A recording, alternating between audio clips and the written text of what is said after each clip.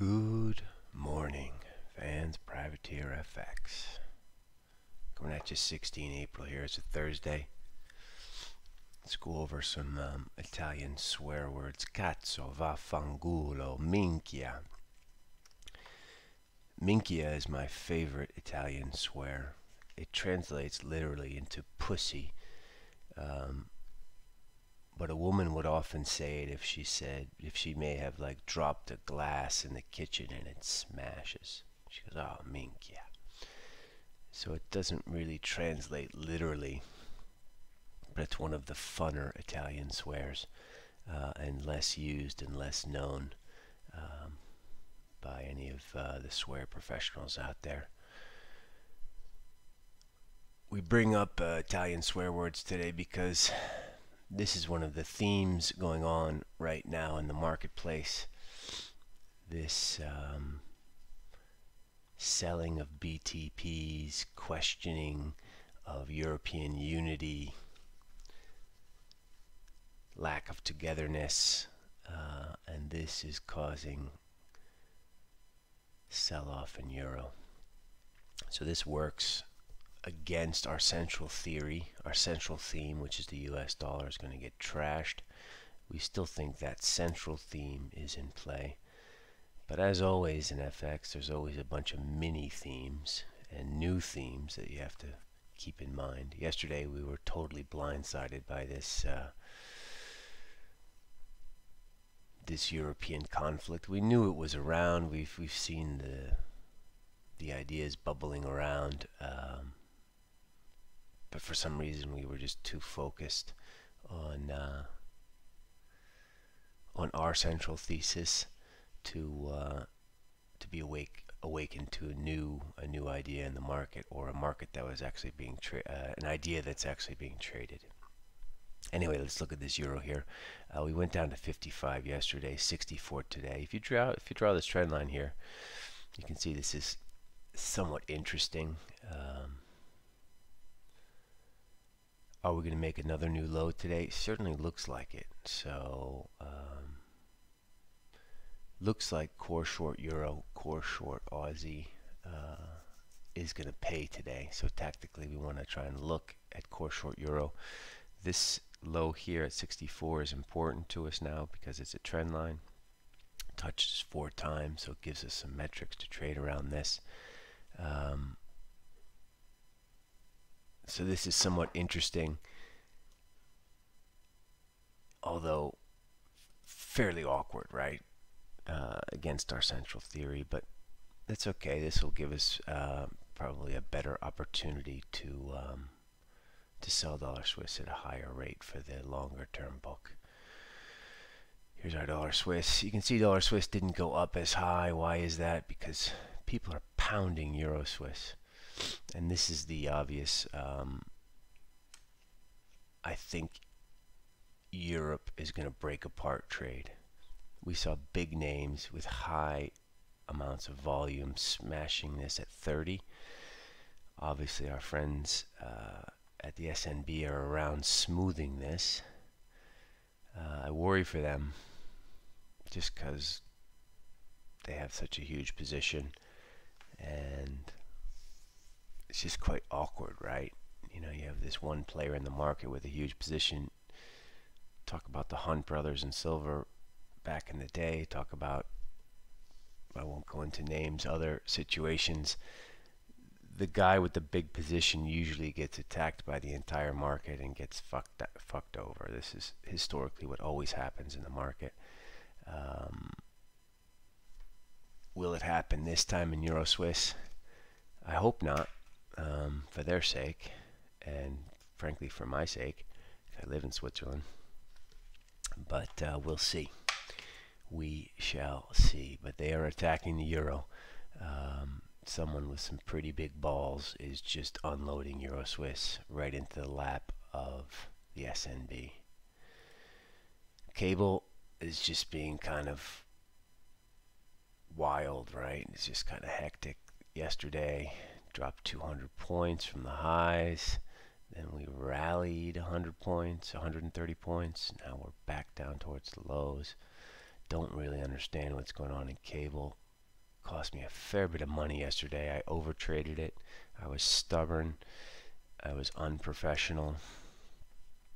All those beautiful adjectives. Uh, I was a douchebag. Uh, whatever, whatever adjectives you want to use. Uh, that was me yesterday in cable.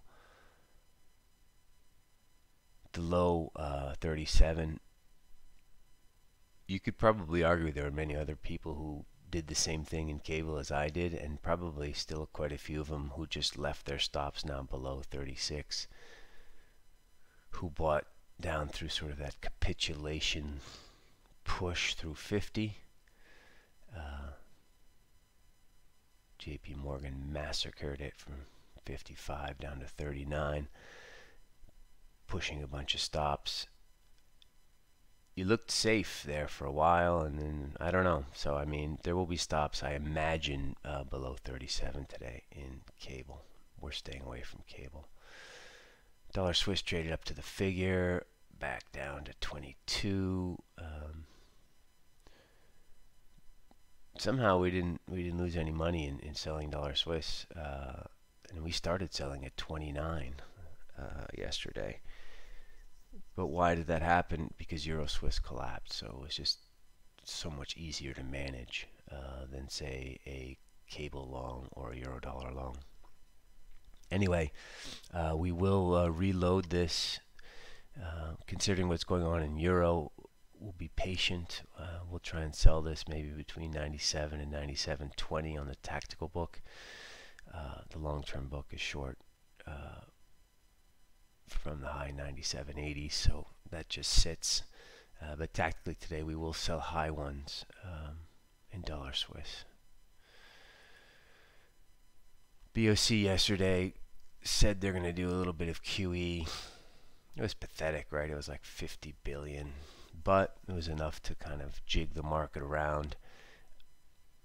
Uh, it's more the case that stocks are lower and, and crude is on it on its knees. Where's crude today? That dollar that dollar CAD is higher. It's not the QE. Uh, crude's at 20 bucks, so it hasn't really hasn't really changed too much. Don't really know what to do with uh, dollar CAD, so we're just gonna we're just gonna leave it alone. Gold, uh, the futures traded down to 1730. Uh, the lonely bids at 1710 are still lonely. Um, being patient with crude. If we see more of this sort of dollar buying against euro, there might be a move down in gold. You could also draw this line here. There'll probably be a few intraday guys who draw this now as kind of a head and shoulders. 37's a neckline there. Crude bouncing along at the lows. No dog in this fight. Oddly, I'd like to be long, if anything, even though it looks like absolute shit. Um, mink, yeah. Look at that. Mink, yeah. One, two, three, four. Four red days. We'll see. Isn't Minchia fun to say? It's a fun swear. Um, crude looks offered, but we're not we're not playing there. Bunds um, yield went lower today. Yield went lower yesterday because of this BTP Bunds trade. This is a classic favorite of guys like Bluecrest and the big hedge funds. Um, Brevan Howard also likes to put this trade on. Um, what you're doing is you're you're you're buying Bunds, you're selling BTPs, and you're basically just trading the spread between German and Italian uh, fixed income. So we're still we're still sellers of Bunds, uh, but you have to be careful in these in during these periods because these flows are huge oftentimes. So you saw a big day from 171.40 to 172.70. We know we have to give room for this, so do not add to your Bund shorts.